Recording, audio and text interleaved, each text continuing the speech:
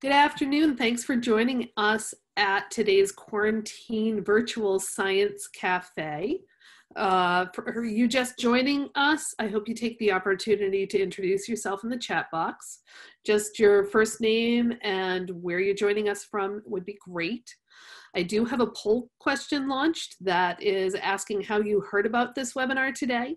If you happen to click other, would you just let us know in the chat box too how you heard about us? That'd be fantastic about everybody who signed up for this webinar has logged in, which is which is great. You guys are right on top of things every week. I'm really amazed that everybody has logged in by about two or three after three. So we're going to get going. I'm Laura Wilson. I'm a 4-H science professional with the University of Maine Cooperative Extension. I'm so glad that you're here with us. 4-H is a community for all learners with programs that suit a variety of backgrounds and interests, budgets, and schedules. We work in school, after school. We have clubs and camp programs. Our 4 H positive youth development programs are available in your local community. And we welcome everyone who wants to have fun and learn and grow. 4 H is the youth develop. 4-H is the youth development program of the University of Maine. We're brought to you by the University of Maine Cooperative Extension. So as you take a minute to introduce yourself in the chat box, um, here in Maine, we have Dr. Vanessa Klein with us. She will be monitoring the chat box and she'll be defining some science terms. So if something our guest today mentions you don't understand, just you know, shout out in the chat box and Dr. Klein will be happy to help you out. We also have Alice Philbrick monitoring the chat box. Jesse Brainerd is hosting our Q&A, which is where you ask questions of our, our guests today. And we're, they're working behind the scenes to make this all run smoothly. We're gonna keep it really simple. Our guest will share some of her cool research. She'll share a bit about herself. And today she has some really cool photos and videos. So I'm really looking forward to seeing that today. We'd love to see your reactions to what our guest presents. Uh, keep on topic as much as you can in the chat box. Keep the language clean and appropriate so we can all have a little bit of fun. It's my pleasure today to introduce Dr. Danielle Levesque. Dr. Levesque, would you tell our participants about yourself and your work? We're really, really happy to have you here with us today.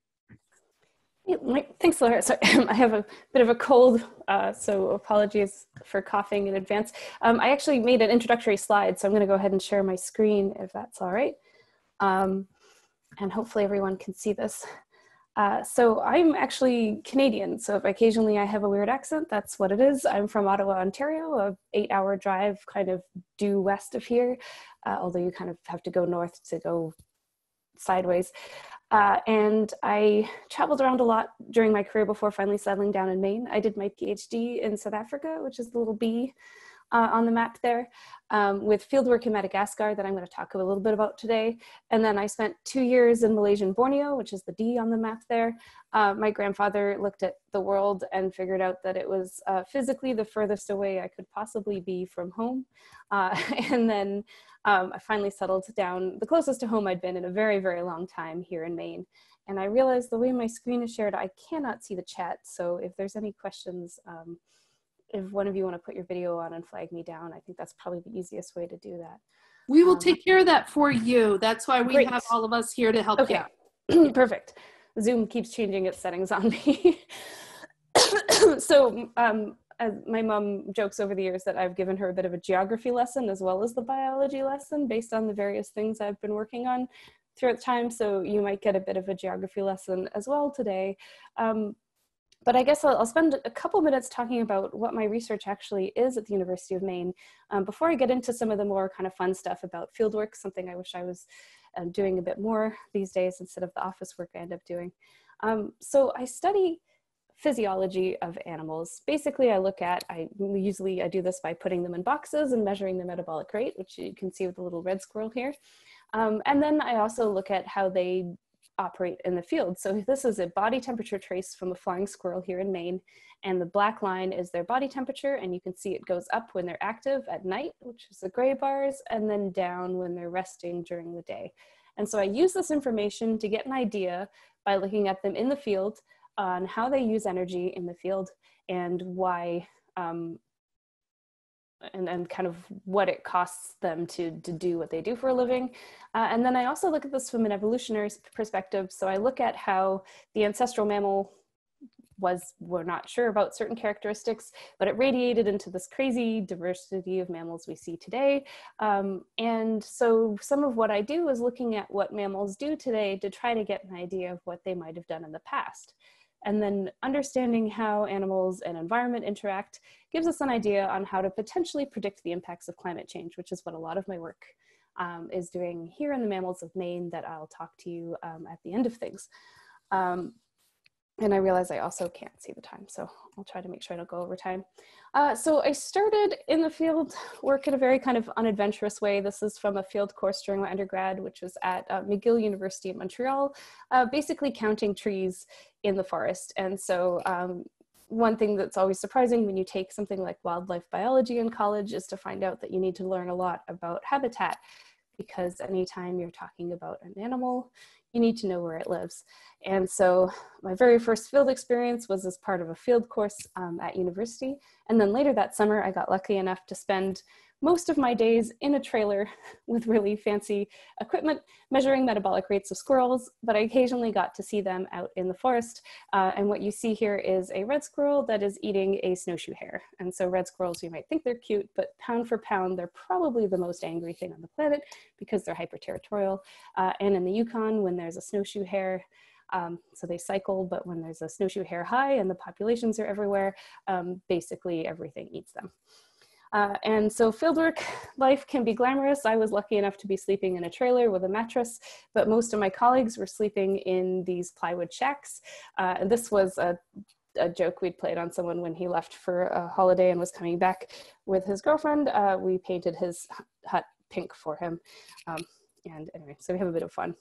So some of the common techniques we use in the field are, uh, if you're lucky enough to be able to find an animal in their nest, you can go and take them down uh, and take a look at them. And so this is um, with the Red Squirrel Project, they do these surveys where they go into the nest at one week and then go back at three weeks and weigh the young, take a clip to get their DNA to find out who um, the father is and kind of health checks and stuff. And so um, at this stage, this is they're 28 days old and they're already starting to crawl around. A lot of times what we'll do is we'll trap them and so uh, if you're trapping for things in Maine, like chipmunks and mice and stuff, you use these kind of metal traps here that we bait with peanut butter and oat balls. Uh, and then the bottom right corner is um, in Malaysian Borneo, this is a tree shrew, which are weird things that are actually more closely related to primates, but look a lot like squirrels. Uh, and we catch them with bananas that usually we put a tiny drop of ethanol in that helps release the smell um, and attract the animals. And then we stick them in a bag and we measure them. Usually you take weight, we try to figure out the sex, uh, we look for parasites, and um, just generally try to get an idea of the health of the individual before releasing them. If you want to find out a bit more about the animal, one other thing that's really commonly done is radio tracking. So you'll see in the bottom right, there's a guy there with a big kind of thing under his neck. That's a radio collar, and it allows us to find them um, and follow them kind of around their habitat. And I'll talk a bit more about meerkats in a little bit, but there's a lot of meerkats here, including the one behind me, um, because I spent some time in the Kalahari. If you're lucky enough to be able to have a population of animals that you can get habituated to people, so you get used to their presence without disturbing their behavior too much, you can do things like have them trained to be to walk on scales. So at the Meerkat Project, it's been done for about 25 years now, uh, where you have these whole families of meerkats that kind of grow up and and when they're little, you kind of get them hooked on hard-boiled eggs and water and convince them to jump on the scale. And sometimes they don't and you have to pick them up, but most of the time they cooperate. And what you'll notice is that massive kind of square mark on the meerkat is actually a dye mark. So we just use regular kind of hair dye and a paintbrush and would paint different patterns on the animal so you would know which individual was what based on the kind of um, the markings. Uh, and yeah, it was pretty fun. Uh, but most of the time was spent just sort of following them from a distance and trying to figure out what they were doing. Uh, and then occasionally if you stopped and took a break, they would use you as a lookout post. Um, and the bottom right was the PhD student I was working for, Raf Mares, uh, was hanging out with one of the roving males uh, and um, posed for a picture, which is kind of fun. so, sorry. um, after my master's I did on chipmunks, and I'm going to skip that part completely because meerkats are more exciting. Um, I was lucky enough to spend six months working at this meerkat project, uh, which is in South Africa, but at the very northern part. So we're zoomed in here on the continent of Africa, uh, and the meerkat project is in the Kalahari Desert, which kind of spans that intersection between South Africa, Botswana, and Namibia. And it's just a really ridiculously gorgeous part of the world. Deserts are fantastic. Um, although there's way more things that can kill you like snakes and scorpions than there are in Maine. So there are good things about Maine, um, but there's no black flies or mosquitoes in the desert. So it's also nice. Um, it's located near the town of Van which is just down the street from a town called Hotazel, uh, because it gets to about 55 degrees Celsius, which I think is like 120 Fahrenheit uh, in the summer, so it, it's a pretty appropriate name for the area. Um, and uh, meerkats are kind of fun because they live in these cooperative groups and are what, what are called cooperative breeders, which means that the, um, the young will stick around with their parents and help out. And so I have a question for everybody here, and that's uh, why do you think meerkats live in groups?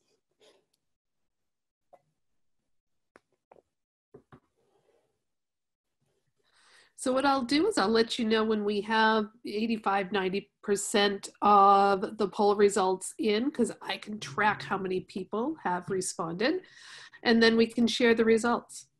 Great. Yeah, it's really weird that it's not letting me see the chat anymore.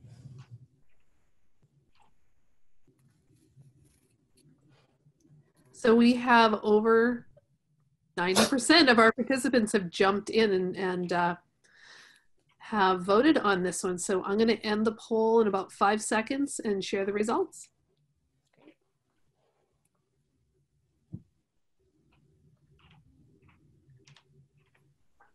Yeah, you guys are right. so uh, the the number one answer was all of the above, and the second one was also the one that is the pretty the sort of strongest of the two, and that's the need help rising young. So the Kalahari, despite what this picture or both pictures looked like, I happened to be there during a particularly rainy summer, um, is a really harsh environment. And these are insect eating animals. And so if there's no rain, there's not a lot of insects and life can be really hard. So what'll happen is that the um, the siblings will, or the kind of meerkat kids will hang out with their family and the daughters will actually help um, they'll also produce milk to help raise the young. And they do things like babysit. So you'll have uh, when the when the pups are really really young it's they're too young to go out foraging with the group. So the groups will kind of stay in a central area and then go eat throughout the day and then come back um, and what they'll do is they'll leave the pups with uh, babysitters who will kind of hang out and not eat that day so they can kind of protect their young. And assuming maybe that there's some kind of teaching going on too, because meerkats are surprisingly smart. Um, and so would, when they're still little, eventually you'll get to see them kind of come out of the burrow and start wandering around. Um, and some days they'll just do this. This was was taken on a, a, particularly cold morning, so it was um, just above zero uh, Celsius. Sorry, just above freezing, I guess. Uh, and they were the fa whole family was out sunning themselves, and the pups were kind of frolicking around. And then eventually the group left the pups with the babysitter. Uh, and so I'm just going to show. I'm going to take my headphones out for a second. So Here's um, a really quick um, clip, and hopefully the volume works. What I want you to listen to is when the meerkats stop making noise. So basically what the pups do is they're continuously kind of calling to their family, like a, usually it's a feed me, feed me, feed me, but also like i am here, I'm here, I'm here. And so um, here it is.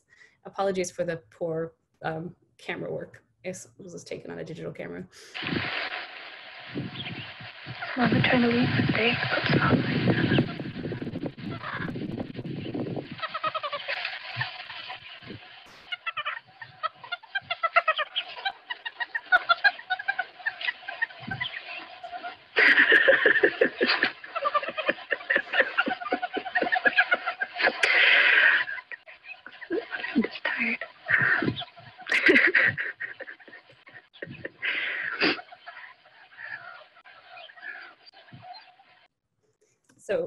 I should say that was about five o'clock in the morning. What happened was we would wake up with the meerkats, follow them around for about three hours, and then we could go have a break, eat food and stuff, and then join them again about um, three hours before sunset, follow them, and then get weights before they went down. So you end up with a sort of wait when they get up in the morning, wait after eating for a few hours, and then the same thing at night. Uh, and uh, in the meantime, you're looking for all kinds of behaviors. So who's feeding who, um, what are they looking at, what kind of noises are they making, and because this project has been going on for almost 30 years now, there's been an insane amount of research and kind of understanding how animal groups work, also how learning works. So I don't have a video of this, but they'll actually, um, when they have the pups, they'll bring them scorpions that they've killed completely and taken the stinger off uh, when they're really little. And then when they get bigger, they'll just give them the scorpion that's live without the stinger. And then finally, when they know that they can take it, they'll give them the scorpion without with the stinger, and they can um, they can do it. So it's really great. Uh, so this is babysitters, um, just generally being cute. And the really handy thing, if you're going to be walking around a desert um, where there's scary things like snakes, is that meerkats are always going to find them before you, and they'll do this kind of mobbing behavior uh, that'll keep the snake at bay. So they try to look big and, and scary, and then the snake eventually kind of wanders off and gives up. And so one of the, the answers um, was to the question was uh, to help look for predators as part of their group thing. So not only do they kind of help each other by finding food, uh, but they're always on the lookout. So what'll happen is when one when the group of meerkats is looking around, there will always be one kind of sitting up at a tree, looking around and trying to find help. And so what has just happened here is that they've seen a bird or something scary in the distance, and one of them made an alarm call. They all ran down a hole, and now they're up from the hole trying to look around. Um, and this was uh, just a really cute baby, so I thought I'd zoom in on it. Um, and so what happens at the stage of their lives is that the the um, adults are feeding the, the pups and the pups are kind of wandering around and digging in holes that adults have already dug in to try to figure out um, what they're digging for and how to find it. Um, at the same time, they're, they're kind of making this continuous begging call. So,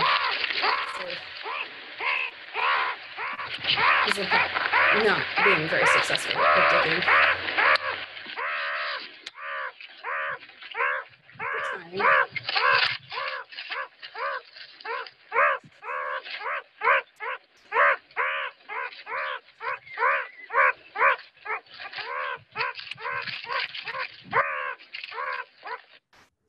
They do get food, their calls change slightly.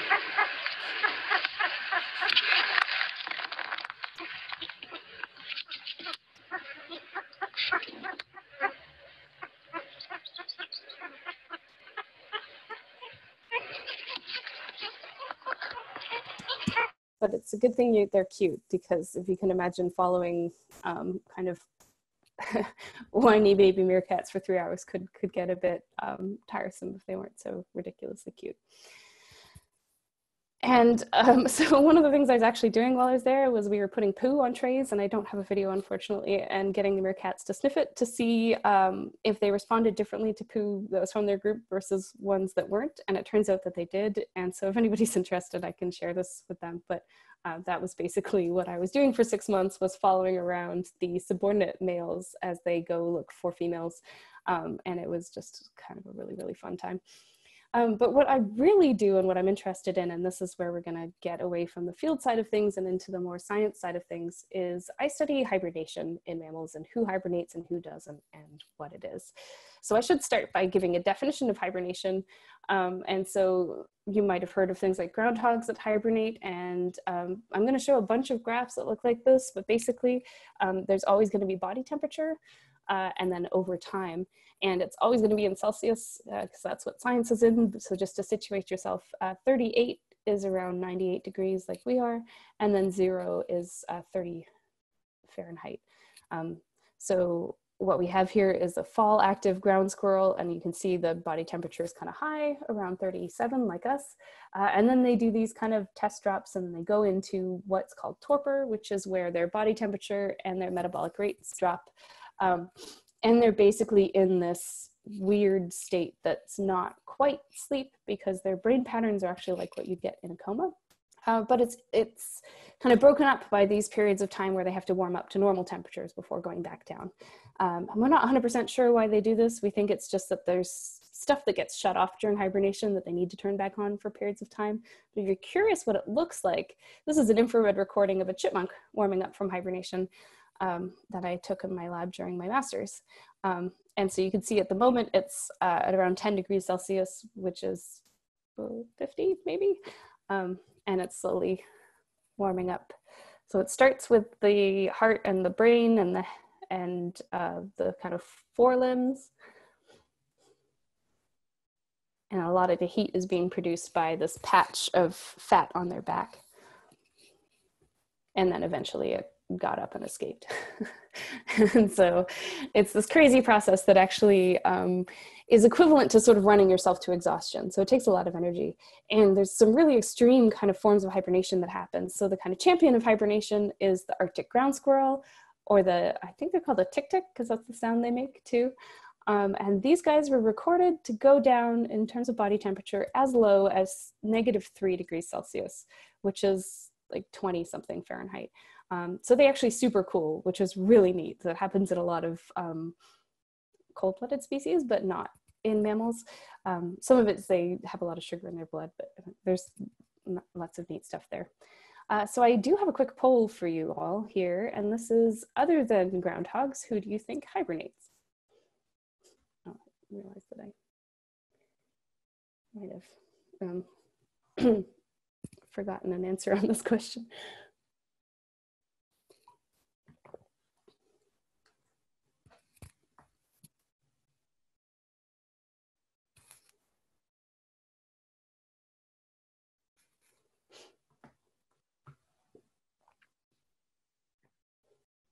So we are about, oh, 100% of people have voted. I'm going to stop the poll and share the results. That was quick.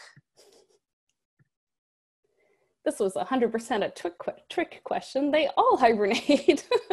so, um, so everybody got it right. Uh, so um, actually, I also forgot to kind of share the gift properly, but this is a, a, type of ground squirrel, the 13 line ground squirrel. Um, and you can see it's kind of scary the first time you have an animal that hibernates on you because uh, you think they're dead but they're not and eventually if you start pulling them enough like this they'll wake up. And there's actually a really old paper that you could never do this these days but they um, they threw them back and forth across a room to find out how um, how much kind of stimulus they could take before they woke up. Uh, anyway it's one of my favorite papers ever. So um, I'm going to show you the mammal family tree here. And so what you're looking at is the different groups of mammals. So monotremes are things like echidnas, uh, which are spiny hedgehog things that lay eggs, and platypus, which are most people are more familiar with, uh, and then marsupials, uh, and then we're primates and rodents. And so the rest are all just names of, of mammal orders. Um, so these, my mouse isn't showing up unfortunately, but the kind of red chunk in the middle, the Artiodactyla and the Cetacea, those are things like um, deer and whales. Um, and so on. And so what I want you to pay attention to here is that if the line is blue, it means that there's an animal in that order of mammals that can hibernate. And so the way we usually try to figure things out in evolutionary biology is that if a lot of the groups, the modern groups, are a particular thing, so in this case blue, it probably means that the ancestor was blue. So we think now that um, the ancestral mammal was capable of hibernation, and that's one of the reasons they managed to survive um, all of the bad conditions that happened when the asteroid hit 65 million years ago and all the uh, dinosaurs went extinct. So it means that there is a possibility that we in our genetic programming still have all of the kind of codes to be able to hibernate. We just don't know how to make it happen, or we've lost the ability to do it because our brains take up too much energy and we can't turn them off. Um, so the ones that we're kind of used to here are in the rodents. To give you an idea of why the monotreme line is blue, echidnas are actually really good hibernators. Um, so this might look a little crazy, but what we're looking at here is in a warm spot in Australia. So Queensland is in the north part of Australia, and if you go north in Australia, you're going closer to the equator. Um, and so you get these kind of inconsistent patterns. I should also say that the reason the lines are so squiggly when they're not hibernating is echidnas are really weird um, and they have super low but also really variable body temperatures. So um, the only time they keep a constant body temperature, and you can see it in sort of the top left, and then where those arrows are in the right, is when the female is incubating her egg. So they'll lay an egg into their pouch um, and then carry the egg around with them for a couple weeks. And in that case, they keep a really um, tight body temperature. So we think that one of the reasons why we have a high and constant body temperature is because it helps us raise our young. Um, so surprisingly, uh, those you, the, the person who picked mouse lemurs, you were correct. Uh, so primates can hibernate. Right here we have a picture of a loris and a dwarf lemur, and the slow loris is capable of these kind of weekly hibernation things when it gets cold, uh, and same thing with dwarf lemurs. And so uh, they do it a bit differently. And so the ground squirrel pattern where they went really, really low and stayed down for weeks and then went up is a bit different in things like dwarf lemurs. So here's two different traces from a dwarf lemur in Madagascar. And in the top one, they were in a tree that was pretty loosely insulated. So um, the, the dotted lines and the dashed lines are the tree hole temperatures, and then the blue, black line is the animal's body temperature. And they warm up every day because that's what the sun is doing. So even in the middle of winter in Madagascar, it still gets above kind of 30 degrees during the day, which is pretty nuts. Um, and, and so they don't have to do that crazy kind of rewarming thing um, when they're in these poorly insulated trees. When they're in the big kind of giant baobabs that stay at a bit more constant temperature, you do get these occasional times that they rewarm. So one of the things that we're interested in when we study hibernation in mammals is why some species have to rewarm and why others don't. Is there some kind of magic temperature? So here you can see at the bottom line that it stays kind of below 25 degrees and then has to warm up. And so is that the kind of magic temperature? Because if, say, you want to try to get humans to hibernate, it's fine to go down, but it's the coming up part that really does a lot of damage to your body. And so if we can avoid the number of times we have to do that, then it's a kind of better way to help hibernate to get people to Mars. So that's uh, that's one of the reasons we study different species, as well as just knowing about that animal and, and understanding how they work in their environment. Um, and the question that always comes up is, well, what kind of carnivores hibernate? Uh, so skunks can do it for short periods of time, and then bears. And so I have a question for you all, um, and I'm always curious about what people think about this. Uh, do bears hibernate?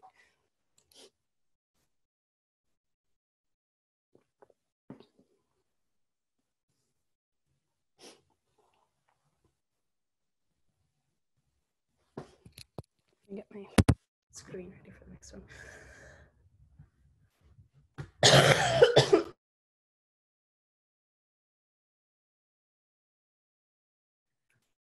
just about oh just about everybody has voted so i'm going to shut down the poll in just a few seconds here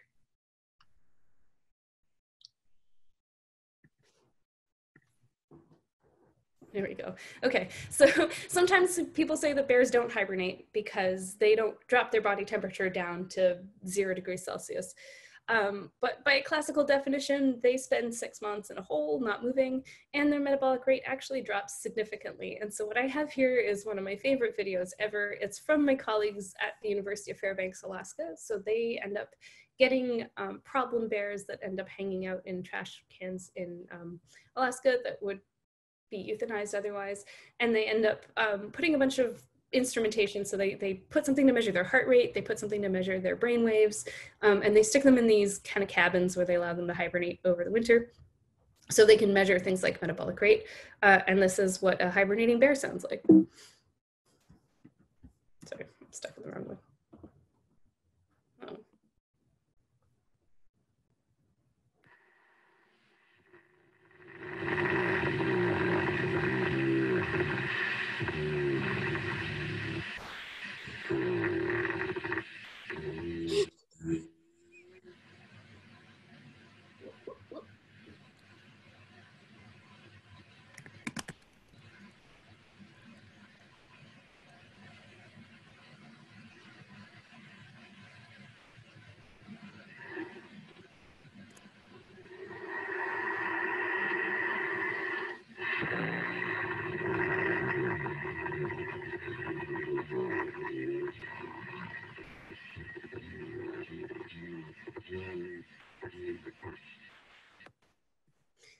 So if you ever have a chance to look at a bear and it's wandering around, take fast it's breathing and then compare it to that. Because one of the things that happens in hibernation is breathing rate is slowed down significantly. Um, and also they snore. So it's pretty fun. Uh, and bears are really neat because they they manage to spend six months kind of curled up in a ball this way and end up not having any muscle damage. So if we were to spend you know three months on bed rest, you get a lot of uh, muscles kind of disintegrating and you need to build them up again. But bears have a whole bunch of crazy adaptations that allow them to um, be functional, and so they're studied a lot in a kind of biomedical uh, way to be able to figure out how they manage to to do all of this. And again, I think if you're going to send people to space, you want them to hibernate like a bear, not like a ground squirrel. Um, which brings me to Tenrecs. And so um, I guess I could have put a poll with how many of you have heard of a tenrec before, because uh, the answer is usually not a lot. And it makes me want to spend a bit of time on this weird group of mammals called the Afrotheria. So for a long time, all of the animals in this group were kind of put in with other species that they look alike.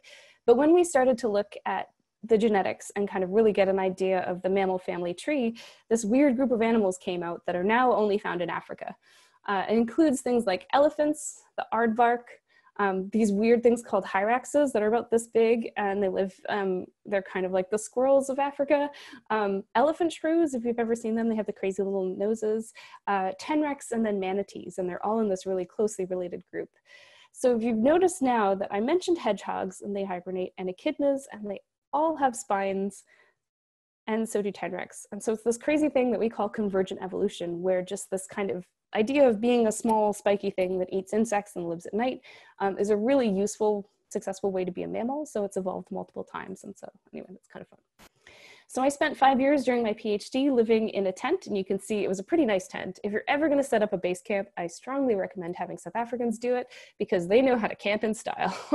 so I had a platform, I had a roof over my head, and I had these tents, and what you can see is the constant kind of clothes hanging out because it was the rainy season.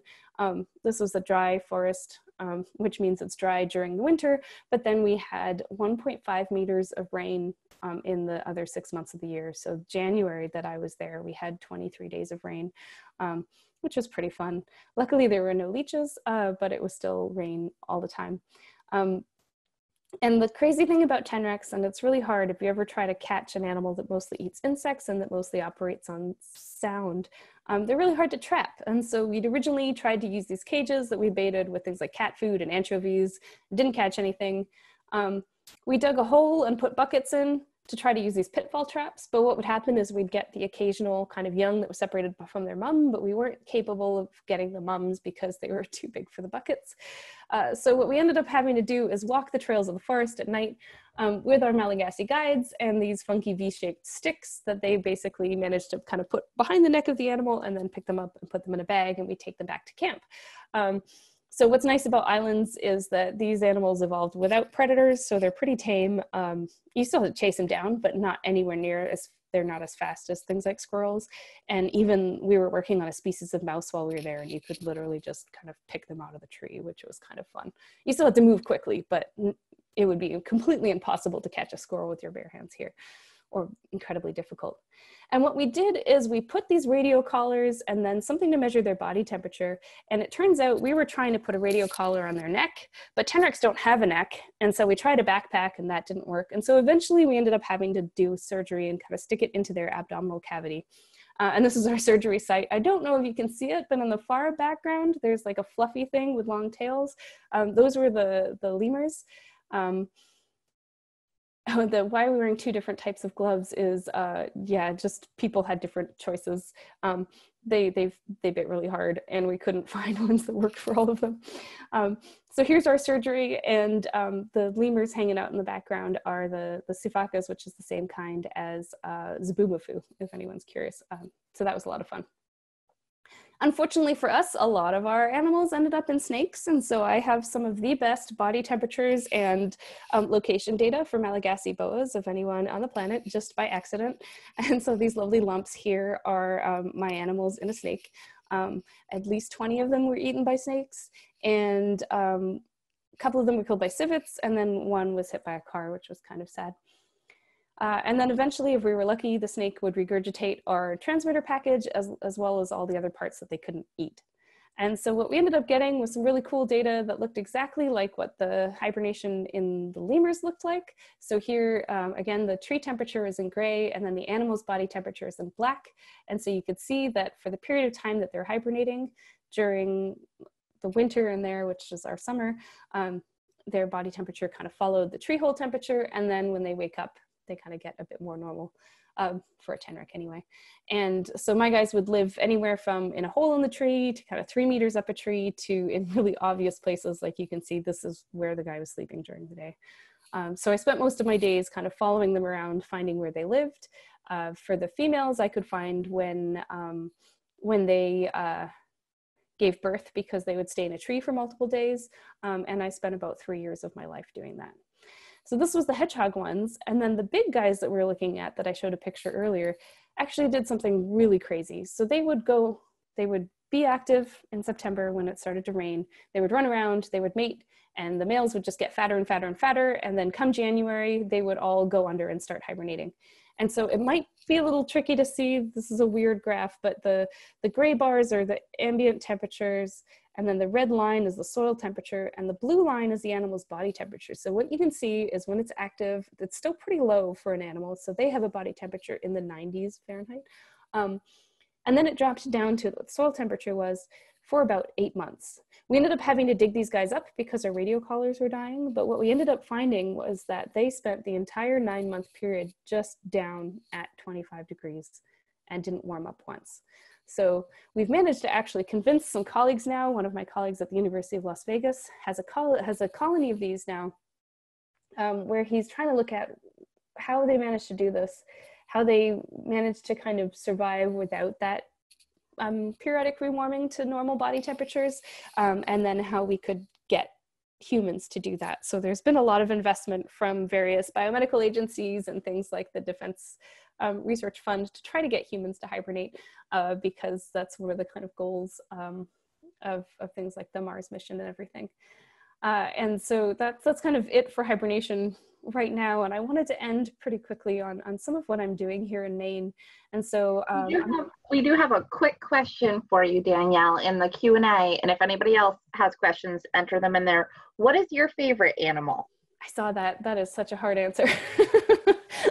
I'm gonna have to say Tenrecs because they're just really, really cool. Um, and and they're they're pretty sweet things. But I don't. Usually it's whatever I'm working on at the time. So uh, tree shrews are pretty cool, and I didn't get a chance to talk about them, but I can answer questions if people are interested. And um, these weird things called moon rats that look like giant stinky rats, but they're they're actually closer related to hedgehogs, and they smell like um, someone described them in an old book as rancid Irish stew.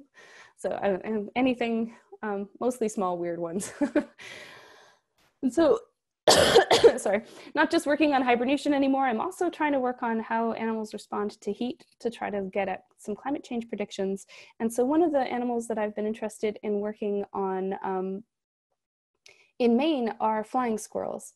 So uh, most people, unless you've seen one, I always get a question of, we have flying squirrels here in Maine because they're super secretive and hard to find unless you get lucky um, and see them in your backyard, or you get unlucky and find them in your attic. Um, we actually have two species the northern flying squirrel, which is a bit bigger and a bit fluffier, and then the southern flying squirrel. Uh, and the southerns have been moving north recently. And so a lot of what I'm doing in my lab at the moment is trying to find out where they are in Maine. And um, is it just that it's not cold enough to keep the southerns out anymore, or is it too hot for the northerns? And so um, just to show you some pictures, we finally found northern flying squirrels uh, in Presque Isle. Um, and so we trap, when we trap in the cold, we have to wrap our cages up in um, basically space blankets and plastic bags because it was pretty cold. Uh, we end up putting these microchips in them, similar to what you do if you have a pet microchip. Uh, and this is my students taking measurements and then we stick them in boxes and measure their metabolic rate. We also put these tiny data loggers in them so we can get their body temperature. Uh, I just want to draw your attention to the ridiculously cute fluffy um, feet here. They have little snowshoe feet. And in the summer, the bottoms of their feet are naked so they can use it to um, kind of sweat and lose heat and cool down. And then in the winter, they grow a layer of fur that they can use as little snow boots. So they're pretty cute. Um, and uh, this is a PhD student who was visiting from the University of Saskatchewan in Canada who'd worked with bats. And when you release a bat, you can kind of lift it up in the air and it'll fly off. And he was hoping that it would happen for the flying squirrel. Um, and it didn't.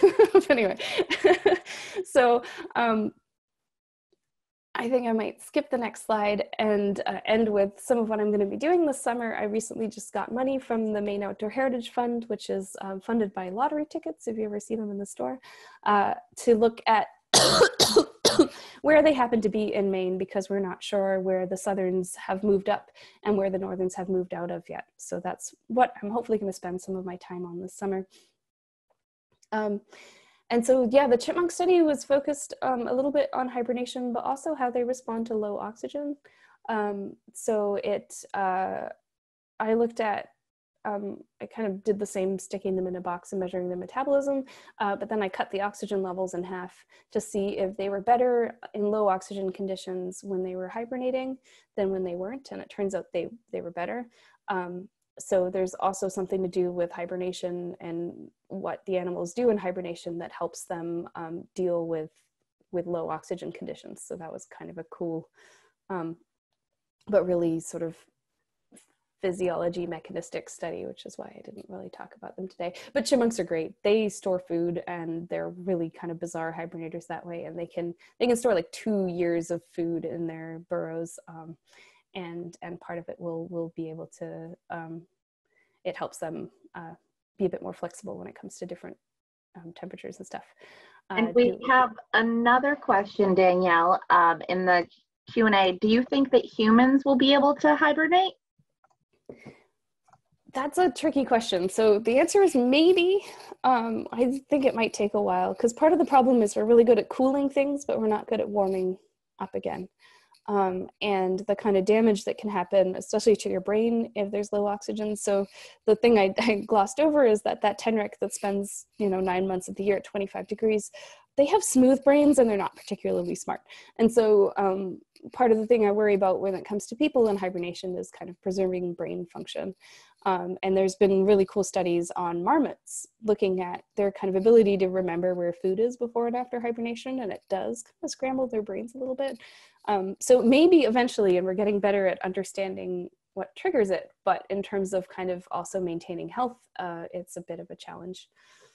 Um, so I see a few more questions. So uh, are there many breeds? I, I, yeah, I can, do you want to read them or I can read them to you? Either way works. Yeah.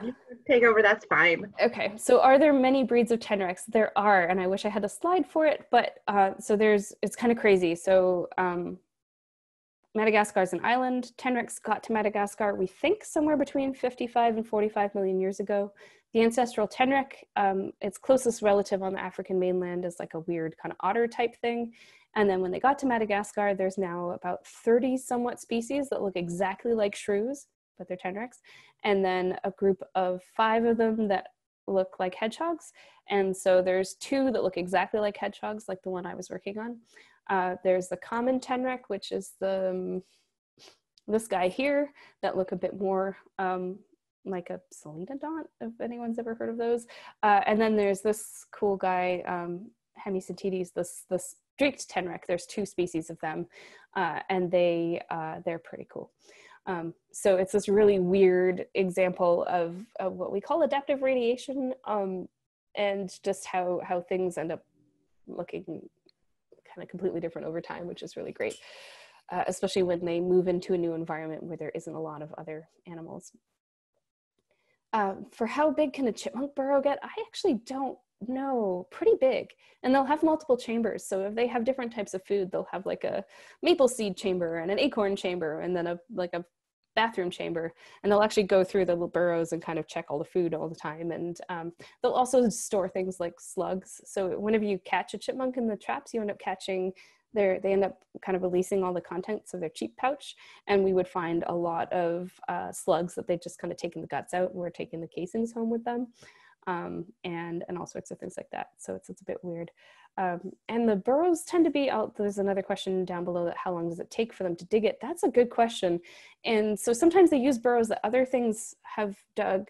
Um, but I don't think anybody really knows uh, and some of it's because it's kind of hard to see what happens when they go underground.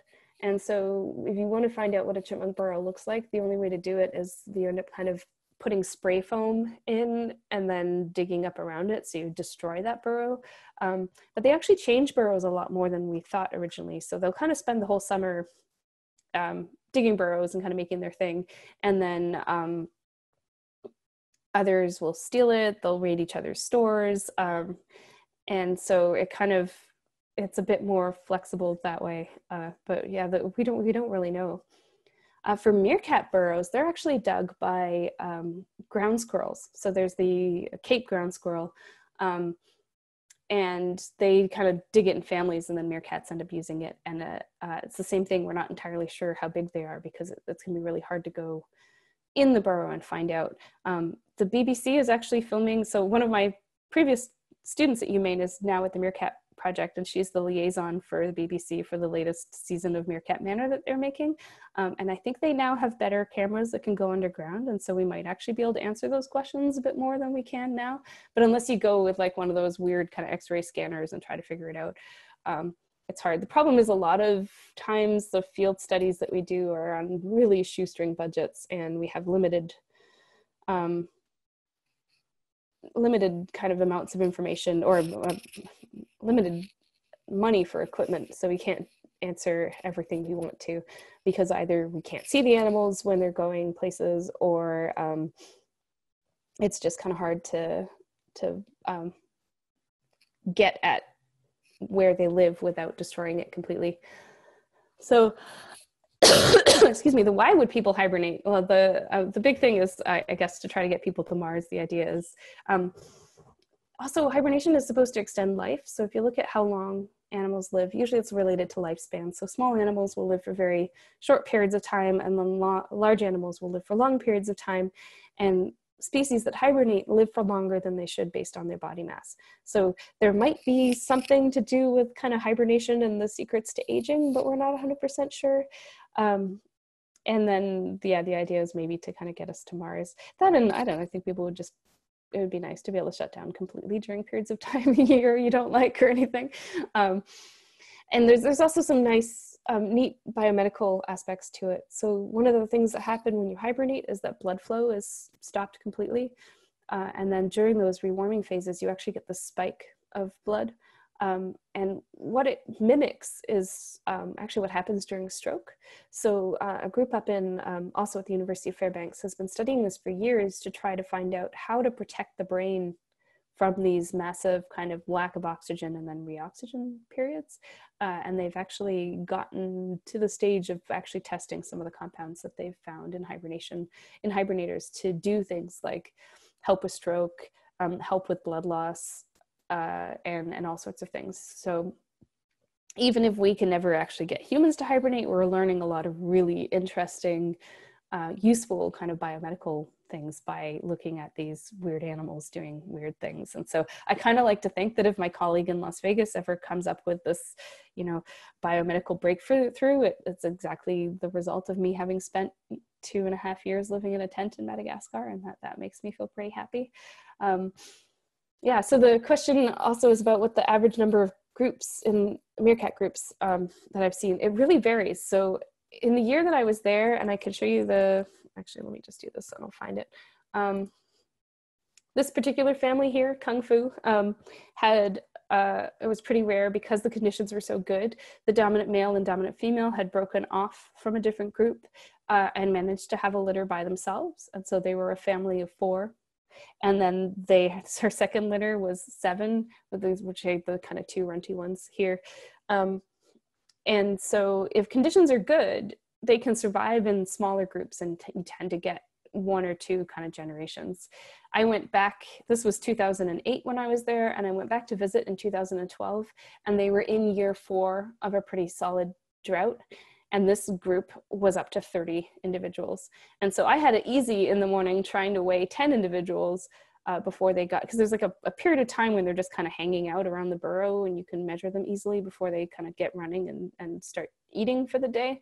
Um, when I went back to visit in 2012, I'm like, wow, I'm glad I'm not working here right now because trying to weigh 35 meerkats in like 15 minutes is nearly impossible. So it really varies.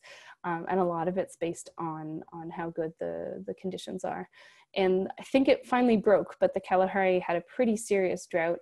Um, that that uh, that did some serious damage to the populations there. Aardvarks in particular aren't doing well in this part of the world, which is kind of sad because they're really cool.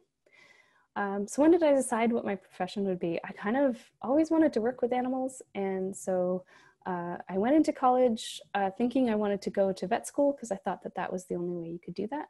And the way vet school works in Canada is you do two years of undergrad and then you transfer into vet school. Um, but getting into vet school in Ontario, where I'm from, is harder than med school because there's 100 slots for more people that want that. And so I kind of figured if I wanted to continue on in my program, what would be interesting to me. Uh, so I thought wildlife biology sounded kind of cool. And then uh, as soon as I got there, I was hearing about all the researchers my professors were doing and um, realized that there's so many more ways that you can work with animals that don't involve um, being a vet and spending all the I guess I ended up spending more time in school, but going through all the process of applying to veterinary college. Um, and, and I just kind of got hooked. And then um, I did an exchange uh, to university in Australia during my undergrad where I got to work with echidnas. And um, I just kind of fell in love with looking at this research in terms of hibernation and, and everything. And um, I've been lucky enough to keep getting jobs. It, it can be, especially these days, there's more kind of PhDs than there are jobs at universities and so it can be pretty challenging and unfortunately too a lot of the jobs in when it comes to field work um, they don't pay very well because more people want to do them than there are jobs and a bunch of people are starting to recognize this and realize that we really should be paying people for working uh, and so it's getting easier and easier to find paid jobs, uh, but there's still a lot of ones that um, not only won't pay you, but will ask you to pay them to help them on their project. And so uh, it can be really hard to um, to kind of get ahead in this field. Um, and so I feel really lucky that, um, first of all, I managed to go to all sorts of crazy places and do fun things, but that it's actually worked out as a career. Um, and hopefully it'll keep working out as a career into the future. Um, yeah, I'm not sure about the benefits we get from hibernating, unless it's just maybe extending life a little bit. But it's sort of it's something that people want to be able to do, maybe just to be able to do it. Uh, but there there might be some other kind of side benefits. Oh, and sorry, the question was what benefits can humans get from hibernating? And, and yeah, not not 100% sure. but people want to be able to do it, so we can.